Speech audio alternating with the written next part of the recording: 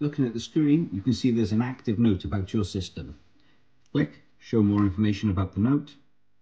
And here it says we have an update available from the internet.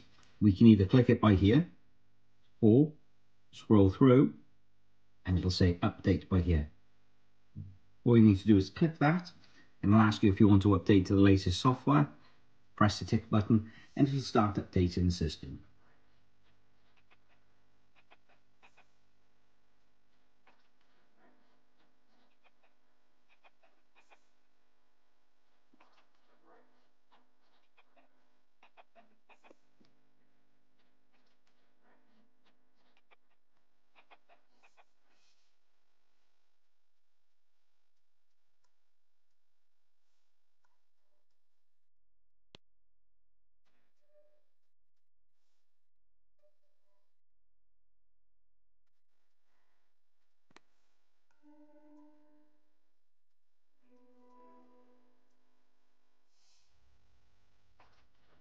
There we go, the system's updated and now it'll carry on working as it should.